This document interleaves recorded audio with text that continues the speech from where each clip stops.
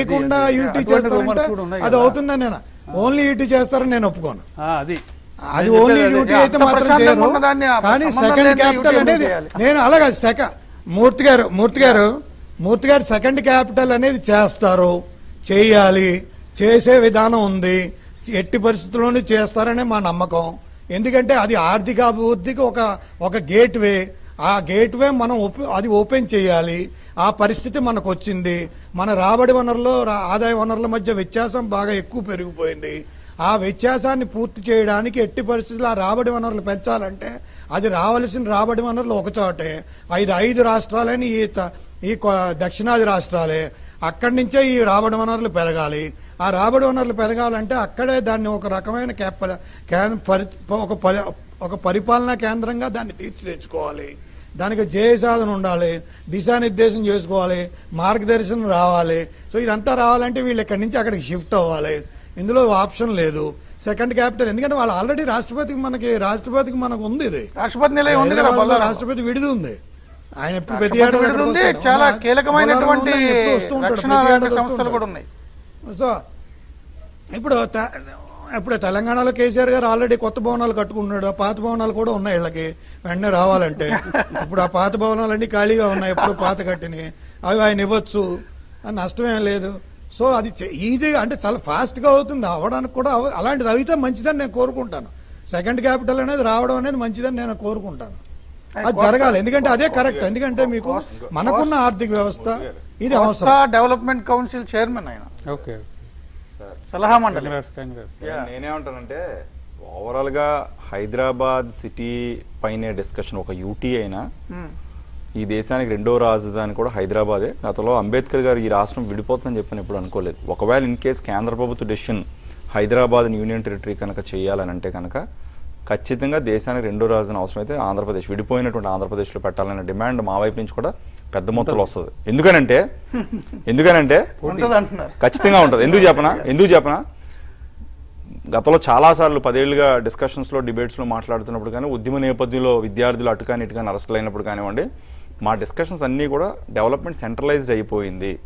ఇప్పుడు మీరు మీరు ఎంతకుముందు చెప్పారు డిఫెన్స్ రీసెర్చ్ ల్యాబొరేటరీస్ కానివ్వండి సునామీ రీసెర్చ్ సెంటర్ కానివచ్చు లేకపోతే all central government offices state government related offices అన్ని కూడా ఇప్పుడిప్పుడు బైఫర్కేట్ అయితే మొన్నటి వరకు కూడా సీమాంధ్ర అమరావతికి ఆంధ్రప్రదేశ్కి ఇప్పుడిప్పుడు తరలిస్తూ ఉన్నారు. ఇలాంటి తరలింపు సమయాలలో ఆంధ్రప్రదేశ్కి ఇప్పటికీ కూడా ఆ ఉన్న ఫైవ్ ఇయర్స్ గతంలో చంద్రబాబు నాయుడు గారు తీసుకున్న ఒక ఇమేజ్ బిల్డింగ్ చేయడం జరిగింది. ఇప్పుడు ప్రస్తుతం కొత్తగా గవర్నమెంట్ ఫామ్ అయిన తర్వాత ఆంధ్రప్రదేశ్కి కూడా వనరులు మాకు సీ కోస్ట్ ఒకటే ఉంది తప్ప పోర్టులు విశాఖపట్నం అటు గంగవరం పోర్టు మచిలీపట్నం ఈ పోర్ట్స్లో ఉండేటువంటి ఇన్కమ్ అంతా గవర్నమెంట్ ఆఫ్ ఇండియాకి వెళ్ళిపోతుంటే స్టేట్లో ఉండేటువంటి పెద్ద ఇన్కమ్ లెవెల్స్ లేవు కాబట్టి ఖచ్చితంగా రెండో రాజధాని అవసరమైతే ఆంధ్రప్రదేశ్లో అవస- అవసరమైతే గుంటూరు లేకపోతే శ్రీకాకుళం వాళ్ళ డెసిషన్ తీసుకుని అక్కడ పెట్టాలని ఒక పెద్ద ఎత్తున డిమాండ్ కూడా హండ్రెడ్ పర్సెంట్ రావడానికి ఉంటుంది. ఎందుకంటే ఆంధ్రప్రదేశ్ ఇప్పుడు అన్ని కొత్తగా కన్స్ట్రక్షన్ స్టేజ్లోనే ఉన్నాయి ఇంకా. రెండు వేలు కంబైన్డ్ స్టేట్లో ఉన్నప్పుడు విడిపోయిన తర్వాత పది సంవత్సరాల పాటు ఇక్కడ ఉన్నటువంటి అన్నీ ఉపయోగించుకోవచ్చు అని చెప్పిన తర్వాత కేసీఆర్ గారు లేదు మీరు వెళ్ళిపోవాలని చెప్పని గవర్నమెంట్ని తోలనాడినప్పుడు ఇప్పుడు ఫోర్స్ఫుల్గా అడ్మినిస్ట్రేషన్ అంతా కూడా అటే వెళ్ళిపోయిన పరిస్థితిలో చూస్తే ఇక్కడ ఉన్నటువంటి అన్ని ఆల్మోస్ట్ పదేళ్ళు ఉంది మనకి. రెండు వేల ఇరవై నాలుగు వరకు కూడా ఉంది. కానీ అయినప్పటికీ హైదరాబాద్ ఎక్కడ కూడా ఉండేటువంటి భవనాలు పరిస్థితి పరిస్థితి లేదు. భవనాలు కూడా అసలు కన్సల్టేషన్స్ లేకుండా అప్పచెప్పేయడం జరిగింది. అసలు ఇప్పుడు ఉన్నటువంటి భవనాలపై అన్నిటి మీద కూడా కామన్గా డెసిషన్ తీసుకోవాల్సిన అవసరం గవర్నర్ వృధాగా పడి ఉన్నాయి ఏం ఉపయోగం గవర్నర్గా గవర్నర్ గారు ఇంటర్ఫీరెన్స్ ఎక్కడా లేదు. ఈయన అనుకున్నట్టే విధంగా చేస్తున్నారు కూడా ఖచ్చితంగా రెండో రాజధాని ప్రపోజల్ ఒకవేళ వస్తే hundred Murthy garu. Good afternoon good afternoon Shastri garu and Srinivas Reddy garu and another friend young friend from college I think ఆయన స్టూడెంట్ లీడర్ అనుకుంటా yeah so it's it will be the best gift for entire South India అండి what I feel if at all Hyderabad is becoming a UT and maybe latest stage as a second capital certainly నా ఉద్దేశంలో అండి ప్రస్తుతం politics has taken Hyderabad in. Position అండి. Politics పొజిషన్లో తీసుకున్న వెంటనే మనకి ఏమవుతుందంటే ఈ పవర్ మాంగరింగ్ ఎక్కువైపోయి actually the benefit and resourcefulness of the city మనకి ఎక్కడ దొరకట్లేదండి. ఎక్కడ కనపట్టలేదు అసలు. మనం కేవలం ఒక సిటీ మీద కాన్సన్ట్రేట్ చేసి దాన్ని డెవలప్ చేసి దాన్ని ఎక్స్ప్లాయిట్ చేస్తున్నాం తప్ప దాన్ని డిసెమినేట్ చేయాలి. అంటే అన్ని విధాలుగా అది అందరికీ ఉపయోగపడేలా చే- పడేలా చేసే టెక్నిక్ని మనం అప్లై చేయటం లేదండి. This is definitely possible when it becomes a UT and when it gets into a central power state power politics will destroy Hyderabad's grace and dignity down the line if it continues to remain as the capital of Telangana. Andy. For sure, I am going to tell you and we give it in writing. Okay so politics గ్రిప్లో ఉన్నంత వరకు హైదరాబాద్ అనేది మ్యాప్లో ఉంటుంది తప్ప definitely ఆ growth ప్యాటర్న్లో కానివ్వండి ఆ గ్రోత్ ఐకాన్స్లో కానివ్వండి ఎక్కడ కూడా మనకు కనపడే ఛాన్సెస్ లేదు yes Telangana may have initial problem in accepting the fact but end of the day Telangana has got another ten district which they can really comfortably do we are doing in Andhra the same thing thirteen డిస్ట్రిక్ట్లో మనం ఎలా అయితే చేసుకుంటున్నామో అక్కడ ten డిస్ట్రిక్ట్లో చేసుకుంటారు. అంతే తప్ప హైదరాబాద్ మీద డిపెండ్ అయ్యి దాన్ని ఎక్స్ప్లాయిట్ చేసి it it is not correct politically this is a very good development అండి unless until this is done we can not see Hyderabad in a different you know okay doctor Shastri garu in a world map అంటే ఇది మోదీ గారు government డెఫినెట్గా ఈ విషయం మీద చూస్తుందండి నా నా ఇది పట్ల ఎందుకంటే దీని మీద కొన్ని చర్చలు కూడా అయినాయి. సో అంచేత ఎందుకంటే ఇప్పుడు మన దక్షిణ భారత ప్రజలు ఇక్కడ ఉత్తర భారత ప్రజలకి ఆ మా- మాట పొలిటికల్ లెవెల్లో కూడా చాలా సార్లు వచ్చింది. అది నేను విన్నాను కూడా. అది మేము హై లెవెల్లో కూడా దీని విషయం మీద మాట్లాడడం జరిగింది. ఎందుకంటే ఆ ఆ- ఆ వ్యత్యాసం స్పష్టంగా మనం వేరు మనం ప్రతిదానికి నా ఉత్తర ఈ ఢిల్లీకి రావాల్సి ఉంటుంది ఢిల్లీలో మనం చూడాలి. ఒక రకమైన ఫ్రస్ట్రేషన్ అయితే మాత్రం ప్రజల్లో ఉంది. అది పొలిటికల్ పార్టీస్లో కూడా ఉంది. మనకి అడిగితే ఫండ్స్ ఎవరు? మన ఆంధ్ర ఈ ఆంధ్రప్రదేశ్ అయినా సరే తెలంగాణ అయినా సరే తెలంగాణ చాలా వెనకబడిన ప్రాంతం. దానికి నిధులు చాలా ఎక్కువ ఇవ్వాలి. మనం అందరూ అనుకుంటాం కానీ ఎన్నో నిధులు ఉన్నాయని అది కాదు తప్పు అది. ఏంటంటే వాళ్ళకి అసలు రావాల్సిన నిధులు ఏదో పా- పాతకాలం నాటి నుంచి ఎప్పటి నుంచి నలభై యాభై నుంచి రావాల్సిన నిధులు. వాళ్ళకి రాలా వాళ్ళకి అప్లిఫ్ట్మెంట్ కరెక్ట్గా జరగలేదు అది. అది జరపాలంటే వాళ్ళు కోరుకునే బంగారు తెలంగాణ కూడా కావాలనుకున్నా కూడా వాళ్ళకి ఈ సెంట్రల్ గో ఇది కనుక ఈ హైదరాబాద్ కనుక సెకండ్ క్యాపిటల్ అయితే ఈ తెలంగాణకి వరం మొత్తం దక్షిణ భారతదేశానికి. ఎందుకంటే ఇది రావాల్సింది ఎవరి కోసం వీళ్ళు వీళ్ళు ఎవరి మీద మనం నెత్తి మీద చేపెట్టేది కాదండి కేంద్ర ప్రభుత్వం పెట్టేది కాదు బీజేపీది పెట్టేది కాదు. వాళ్ళ బాధ్యత అది. ఇది నూట ముప్పై కోట్ల మంది ప్రజలు అరవై కోట్ల మందికి సిటీ క్యాపిటల్ ఉందంటే వేరు. నూట ముప్పై కోట్ల మంది క్యాపిటల్ ఒక క్యాపిటల్ అంటే కష్టం ఇది. ఇది అడ్మినిస్ట్రేటివ్గా కూడా సాధ్యాసాధ్యం కాదు ఇది. ఇదేంటంటే దాని రకాలుగా మీరు అన్ని రకాలుగా ఆలోచించాలి. ఇదేంటే ఆర్థిక పురోభివృద్ధి అనేది ఆగిపోయింది ఇప్పుడు. మన ఆర్థిక పురోభివృద్ధి ఎక్కడుంది? Seven point eight eight point two నుంచి ఇప్పుడు ఫైవ్ పాయింట్ సిక్స్కి వచ్చింది. దాన్ని మీరు ఇంకొక రకంగా దాని డైరెక్షన్ మార్చాలి. దానికి ఒక వైబ్రేషన్ ఇవ్వాలి. వైబ్రేషన్ థాట్ ఇవ్వాలంటే మనకున్న న్యాచురల్ రిసోర్సెస్ని అనలైజ్ చేయాలి. మనకున్న న్యాచురల్ రిసోర్సెస్ ఏంటి? Coastal coastal resources coastal రిసోర్సెస్లో coastal agricultural reforms coastal energy reforms మీకు ఇంటిగ్రేషన్ ఆఫ్ సీ పోర్ట్స్ మీకు Dhaka to Colombo express highway trination express highway Colombo శ్రీలంకని నుంచి దాకా బంగ్లాదేశ్ దాకా మనం కలపచ్చు. ఇవన్నీ ఉన్నాయి. అంచేది ఈ ప్రాజెక్టులన్నిటి మీద విశ్లేషణ ఇవన్నీ జరుగుతున్నాయి. సో డెఫినెట్గా నా వచ్చే కాలంలో ఒకటి రెండేళ్ళలో ఇది విషయం మీద పూర్తిగా ఒక విధివిధానం ఏర్పడుతుంది.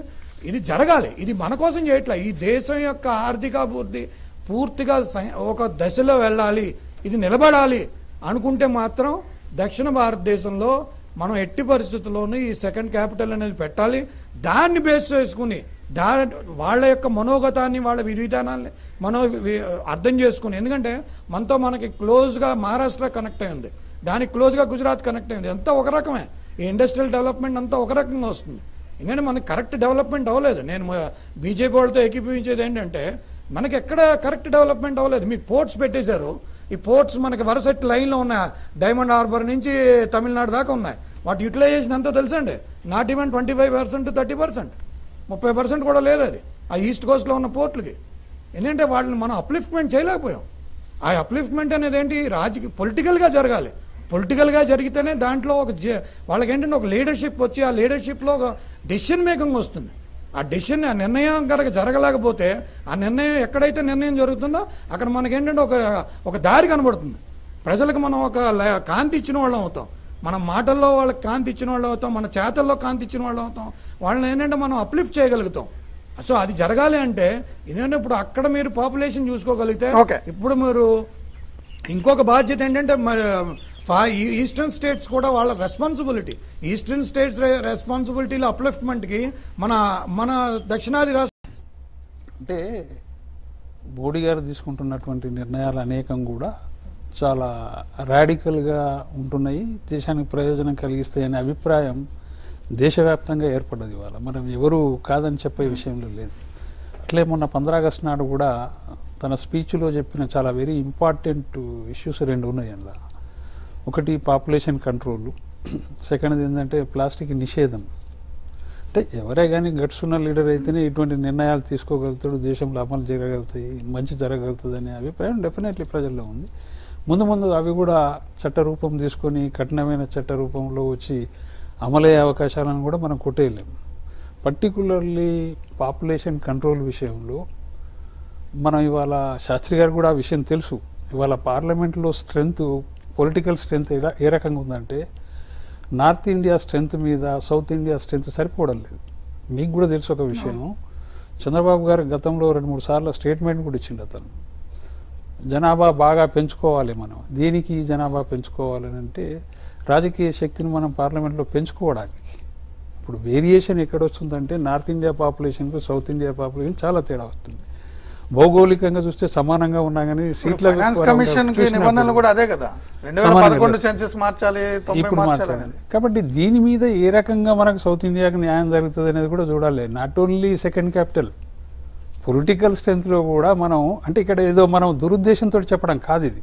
చాలా నిర్ణయాలు ఏం జరిగిపోతున్నాయి అని అంటే అసలు వెల్ అంటే చాలా స్పీడ్గా డెవలప్ అవుతున్న ప్రాంతం భారతదేశంలో దక్షిణాదే వాస్తవానికి. అంటే ఇక్కడున్న ఆదాయాన్ని వెనకబడిన రాష్ట్రాలకు పెంచుకుంటూ బీమారు. రాష్ట్రాలని యూపీని బీహార్ను బెంగాల్ను మనం అంటుంటాం చూస్తున్నాం ఎకనమిస్టులు కూడా చెప్తుంటారు. అంటే చెయ్యని వద్దని మనం చెప్పడం లేదు. ఎక్కువ గ్రోత్ ఉన్న స్టేట్లకు మరింత ఎంకరేజ్మెంట్ ఇచ్చే పరిస్థితుల్లో కేంద్రం ఉండలేదు ఇంకోటి ఎక్కువ గ్రోత్ ఉన్న స్టేట్స్కి కూడా పొలిటికల్ నిర్ణయాలను లేకపోతే పొలిటికల్గా వారు చెప్తున్న విషయాలకు కూడా పార్లమెంట్లో ప్రియారిటీ రావడం లేదు. ఇప్పుడు ఎందుకంటే సౌత్ ఇండియా నుంచి మనం ఏ పొలిటికల్గా ప్రియారిటీలో మనం దేశానికి సంబంధించిన విషయాన్ని కానీ చెప్పినా కానీ అక్కడ ప్రియారిటీ రావడం లేదు కదా. అంటే ఆ ప్రియారిటీ రావాలంటే మనం ఏం చేయాలంటే డెఫినెట్లీ పొలిటికల్ స్ట్రెంత్ అనేది పెరగాలి. ఇది దురుద్దేశం దక్షిణాది ఉత్తరాది అని కాదు. నేను చెప్తున్నది ఏంటంటే ఈక్వలెంట్గా మనం రెండో క్యాపిటల్ను మనం కోరుకుంటున్నప్పుడు ఇక్కడ మనం అంతే పొలిటికల్ స్ట్రెంత్ కూడా సమానంగా మనం అక్కడి నుంచి ఇక్కడ దాకా ఉండాలనే ఉద్దేశం కూడా మనకు ఉండాలి. ఆ దిశగా మనం రాజకీయ పార్టీలు దక్షిణాదికి సంబంధించిన ఎక్రాజ్ది పార్టీ ఏదైనా కావచ్చు.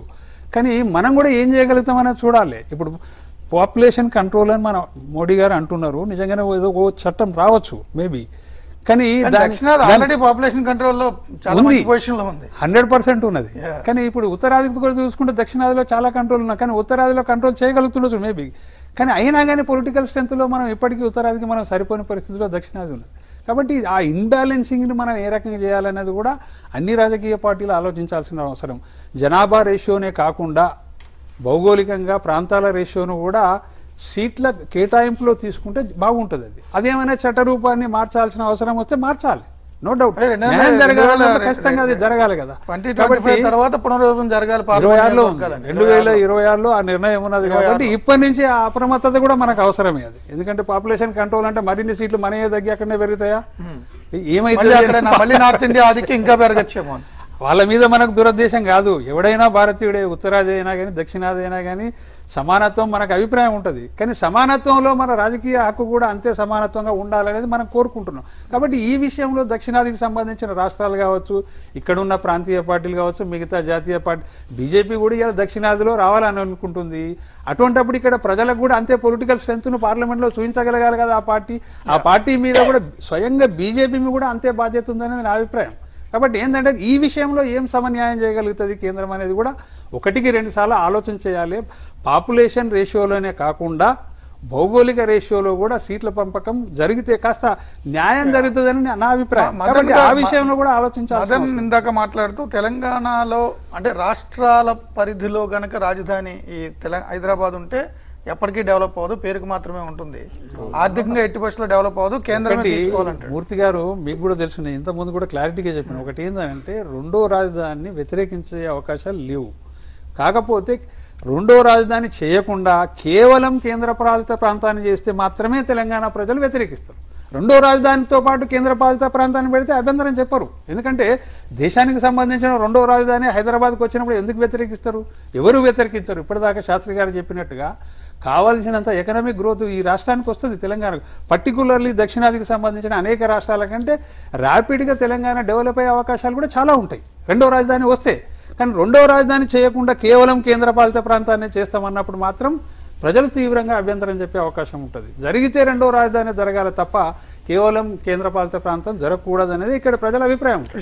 ఇక్కడ almost Hyderabad Secunderabad one point five crore population పైగా ఉంది. ఇక్కడ లోకల్గా తెలంగాణ ప్రాంతంలో ఉండేటువంటి హైదరాబాద్ సికింద్రాబాద్లో ఇక్కడ లోకల్గా ఉండేటువంటి పీపుల్ వందేళ్ళు యాభై ఏళ్ళ నుంచి ఉన్నటువంటి లోకల్ సెటిలర్స్ మనోబోల్ గతంలో విభజన సమయంలో కూడా చాలా మంది డిస్కషన్స్ పెట్టినప్పుడు హైదరాబాద్ అని అవసరం అయితే మీరు మీకు వద్దు మాకు వద్దు యూనియన్ టెరిటరీ పెట్టండి అని చెప్పని ఇక్కడ లోకల్స్ చాలా మంది మాట్లాడడం జరిగింది. కొన్ని ఫోరమ్స్ సేవ్ హైదరాబాద్ అని చెప్పని మాట్లాడిన వాళ్ళు కూడా ఇక్కడ యూనియన్ టెరిటరీ చేయండి అని చెప్పని కూడా గతంలో చెప్పడం జరిగింది. లేకుండా. సో ఆ డిస్కషన్ కూడా ఉంది. వ్యతిరేకించేది రాజకీయపరమైనటువంటి అంశాలు వారి యొక్క పొలిటికల్గా ఇంబ్యాలెన్స్ అయిపోవటానికి కేంద్ర ప్రభుత్వం లేకపోతే ఇక్కడ కేసీఆర్కి మధ్య మోడీకి ఉన్నటువంటి మధ్యలో ఉన్నటువంటి వెంజెన్స్ వల్ల ఇది యూనియన్ టెరిటరీ అవుతుందా లేదా అన్నది కాదు but union territory people have come from different walks of life ఇటు గుజరాత్ వాళ్ళు ఉంటారు యూపీ వాళ్ళు ఉంటారు బీహార్ వాళ్ళు ఉంటారు ఢిల్లీ వాళ్ళు ఉంటారు అన్ని రాష్ట్రాల నుంచి వచ్చేటువంటి ప్రజలు ఉంటారు కాబట్టి వాళ్ళ యొక్క విషయాలను కూడా పరిగణలో మీరే ఇంతకుముందు చెప్పారు. సుమారు ఇరవై ఏడు మంది సిటీలో ఉన్నటువంటి ఎమ్మెల్యేలు ఎంఐఎం పార్టీని కూడా దృష్టిలో పెట్టుకుని అవసరమైతే ఇది యూనియన్ టెరిటరీ చేయటం చేయటం అనే ప్రపోజల్ ఉంటే దానికి సంబంధించి పెద్ద వెంజెన్స్ వస్తుందని చెప్పి నేను ప్రజల నుంచి పెద్ద ఎత్తున నియోజకవర్గాల భాగంగా హైదరాబాద్ నియోజకవర్గాల చుట్టుపక్కల పెంచి నలభై నియోజకవర్గాలతో అవు- అవుతుంది సార్ జేఎండ్కే జేఎండ్కే విషయంలో కూడా Definitely గా తెలంగాణ ప్రజలు ఎంఐఎం నా చూపించి బీజేపీ పాలన చూపించండి ఇంకో సార్, JNK లో కూడా- పరిస్థితిలో తెలంగాణ ప్రజలు దాన్ని ఒప్పుకోరు త్రీ సెవెంటీ పెట్టినప్పుడు కూడా మొన్న త్రీ సెవెంటీ తెలంగాణ గుండెకాయని తెలంగాణ నుంచి దూరం చేస్తే ఊరుకోరండి మూర్తి గారు హైదరాబాద్ నిర్మాణం అనేది తెలంగాణ ప్రజల చెమటతో నిర్మాణం జరిగింది వాళ్ళ కష్టాలు. డౌట్ కాదని.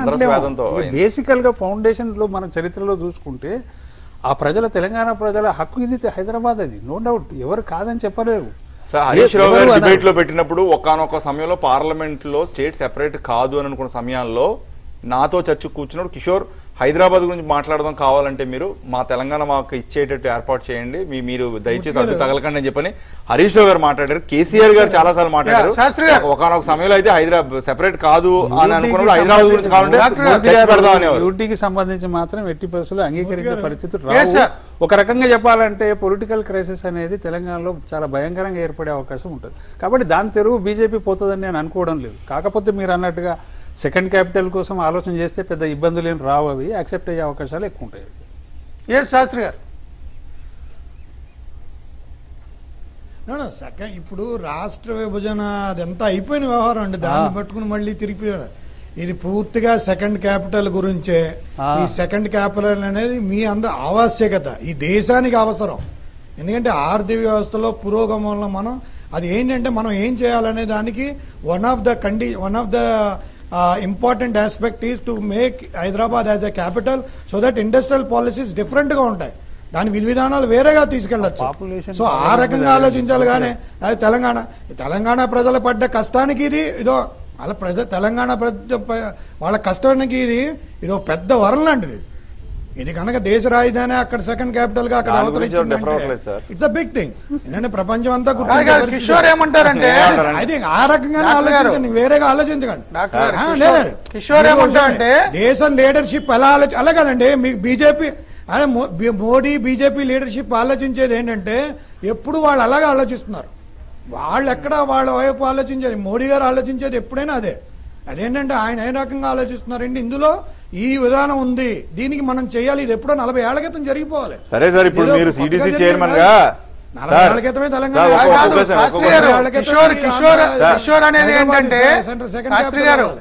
కిషోర్ అనేది ఏంటంటే సెకండ్ క్యాపిటల్గా చేస్తూ హైదరాబాద్ని సెకండ్ క్యాపిటల్ చేస్తూ హైదరాబాద్ పరిధిని విస్తరించి Hyderabad UT with assembly separate చేస్తారేమో ఢిల్లీ లాగా అంటున్నారు అంటే తెలంగాణ స్టేట్ వేరు హైదరాబాద్ యూటీ విత్ అసెంబ్లీ చేస్తారా అని అప్పుడు ఎప్పుడే ఉంటుంది. అప్పుడు తెలంగాణ ప్రజలు ఊరుకోరు అనేది శ్రీనివాస్ రెడ్డి గారి ఆర్గ్యుమెంట్ అంతే. పెద్ద ఎత్తున ఉద్యమం వస్తుందని ఢిల్లీ ఎలా ఉంటుంది ఢిల్లీ ఎలా ఉంటుందో అలాగే హైదరాబాద్ ఉంటుందండి. తెలంగాణ. ప్రజలకు అదే శా- శాస్త్రి గారితో మాడొచ్చా? ఒకటి మూర్తి గారు ఇక్కడ అంటే అట్లా తెలంగాణ. మూర్తి గారు ఆత్మగౌరవంతో ఆత్మగౌరవ నినాదంతో తెలంగాణ రాష్ట్రం ఏర్పడింది. దీన్ని మళ్ళీ రెండో ఉద్యమంగా చేయాలనుకున్నప్పుడు వాళ్ళ ఆలోచన తెలంగాణ రాష్ట్రం సెపరేట్ మూర్తి గారు ఢిల్లీ అనేది దేశ రాజధానిగా అది ప్రకృతి సహజంగా ఏర్పడినటువంటి రాజధాని అది. కొత్తగా జరిగినది కాదు అది. ఒక రాష్ట్రంలో ఒక రాష్ట్రానికి ఉన్న రాజధానిని కేంద్ర రాజధాని చేసింది కాదు అది. ప్రాక్టికల్గా మనం అది. తప్పండి. ప్రకృతి సహజంగా ఏర్పడింది కాదు. ప్రకృతి సహజంగా ఏర్పడింది Calcutta. Sorry okay, okay, okay, Daulatabad నుంచి మళ్ళీ ఢిల్లీగా తెచ్చారు జరిగింది మార్చుకున్నది ఢిల్లీ. ఓకే.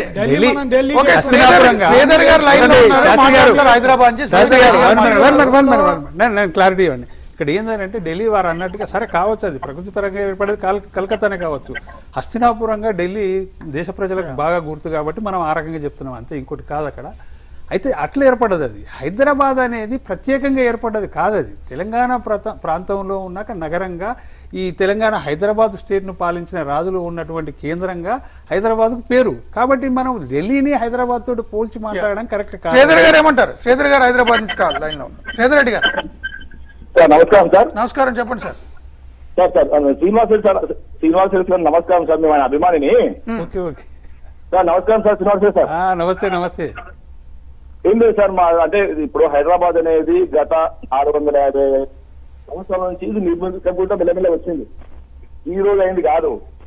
దీన్ని సెకండ్ రాజధానిగా చేయడంలో మాకు ఎలాంటి అభ్యంతరం ఏం లేదు. అది తెలంగాణ గుండెకాయ అనేది అనేది హండ్రెడ్ పర్సెంట్ వెహికల్ చూస్తున్నారు సార్. ఇలా దీన్ని సెకండ్ రాజధాని చేస్తున్నా మళ్ళీ ఒకసారి తెలంగాణ చేసినా సరే మీరు అంటే ఏం చెప్తే చేయగలుగుతాము యూటీ యూటీ అంటే ఓన్లీ యూటీ మేము పట్టుకున్నాం లేకపోతే యూటీ చేసేస్తే బాగుంది అనే కానీ మళ్ళా తెలంగాణ యొక్క ఆర్థిక వనరులు కానీ ఇవన్నీ దెబ్బతింటాయి సార్? యా తెలంగాణ ఆత్మగౌరవం దెబ్బతింటే అలాంటి ప్రపోజల్స్ ఉంటాయి అంటున్నారు.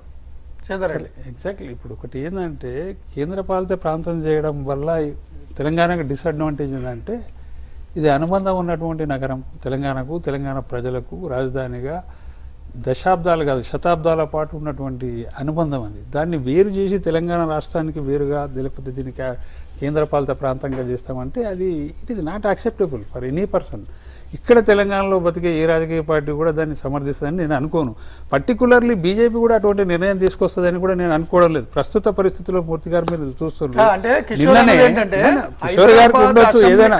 నాకు అర్థమైంది హైదరాబాద్ స్ట్రాంగ్ అయిపోతుంది కదా. హైదరాబాద్ స్టేట్ అసెంబ్లీ వాళ్ళు అనుకోవచ్చు అది. కానీ వాళ్ళు కూడా సాహసం చేస్తారని అనుకోవడం లేదు. ఎందుకు అనుకోవడం లేదని అంటే శ్రీనివాస్ రెడ్డి గారు చెప్పినట్టు పొలిటికల్ వాక్యూమ్ కూడా అక్కడ ఏం ఉండదు. ఒకవేళ హైదరాబాద్ సీట్లు పెరిగితే మొన్న కూడా జేఎన్కేలో ఏడు ఎంపీ సీట్లు పెంచాలనుకున్నాం. టూ థౌసండ్ ట్వంటీ ఫోర్లో ఖచ్చితంగా బైఫర్కేట్ అయిన టెన్ ఇయర్స్లో హండ్రెడ్ పర్సెంట్ సీట్లు పెరగాలని ఒక ఆలోచన కూడా ఉంది. అసెంబ్లీ సీట్స్ కూడా పెరగాలని చెప్పని. పార్లమెంట్లో సీట్లు పెరగాలనేది ఖచ్చితంగా 2026 దక్షిణాది నుంచి ఉన్నటువంటి డిమాండ్ దాని పరిష్కారం ఏందో అది కూడా ఆలోచన చేయాలి అది. అందరూ దక్షిణాదికి సంబంధించిన అన్ని రాజకీయ పార్టీలు ఆలోచన అవసరం తెలంగాణ నుంచి హైదరాబాద్ వేరు చేస్తే ఎట్టి పరిస్థితిలో సమాజం ఊరుకోదు సెపరేషన్ ముందు రాష్ట్ర- అసెంబ్లీ పెట్టాలంటే తెలంగాణతో సార్, విడిపోయినట్టు ఇప్పుడు కదా. ఇంతకు ముందు వరకు డీసెంట్రలైజ్డ్ డెవలప్మెంట్ అనేటువంటి వ్యక్తులుగా తెలంగాణ ఉద్యమాన్ని నిర్మించి తెలంగాణ ఉద్యమం తెలంగాణ సెపరేట్ అయిపోయింది. అయిపోయింది నేనేమంటానంటే ఇప్పుడు మీరు కేవలం హైదరాబాద్ని క్యాప్షన్గా టీవీ ఫైవ్లో మీరు ఈరోజు డిస్కషన్ పెట్టినప్పుడు ఆల్రెడీ హైదరాబాద్ డెవలప్ అయ్యింది. Hyderabad has become an era అసలు బీభత్సంగా ఉంది. అలాంటి రెండో రాజధాని ఉన్నప్పుడు ఒకవేళ యూనియన్ టెరిటరీ కనుక ఇక్కడ పెట్టి మీరన్నట్టు ఢిల్లీ ఢిల్లీ. స్థాయిలో ఆ రెండో రాజధానిని తెలంగాణ ఆంధ్ర ప్రాంత ప్రజలు కూడా యాక్సెప్ట్ చేస్తారనుకున్నప్పుడు నిజంగా మాకు అమరావతి ఇవ్వండి లేకపోతే రెండో రాజధాని. డిమాండ్ చేయండి మీరు. థ్యాంక్ యూ అండి. ఇది చర్చ. మరిన్ని తాజా అప్డేట్స్ మళ్ళీ కలుసుకుందాం. Keep watching TV